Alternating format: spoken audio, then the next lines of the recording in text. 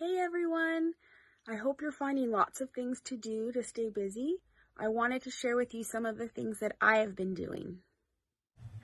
I've been busy by starting a vegetable garden and I had to put a fence around it so my dogs wouldn't go and dig things up. I'm growing some strawberries and as you can see, I've already got some flowers on my plant. These are my peas that are growing and they're going to start grabbing onto the fencing there and grow up the fence.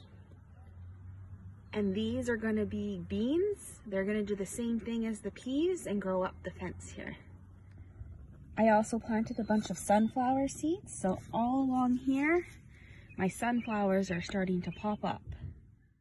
I've planted a bunch of different tomato plants, ones like cherry tomatoes, Roma tomatoes, beefsteak tomatoes.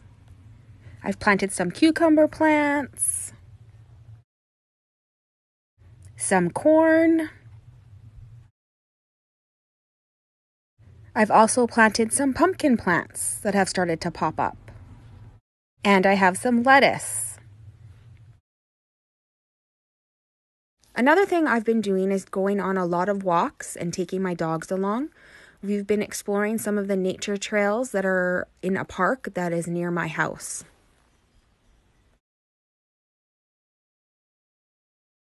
During our walks in the park, I came across a bunch of different painted rocks that people have hidden around the park in the trails.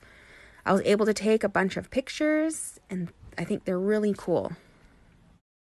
Are you ready? I've been spending a lot of time with my dogs in the backyard and teaching them some tricks.